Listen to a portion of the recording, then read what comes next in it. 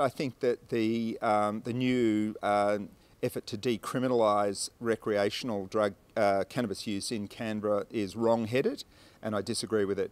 So I think that that's a mistake. It won't won't have an advantage. Some of the argument for doing this uh, decriminalisation is to reduce the likelihood that somebody might go to prison or be um, arrested for their use of cannabis. Most of the evidence is very low that people are being um, uh, that, that this drug is being targeted by police and others.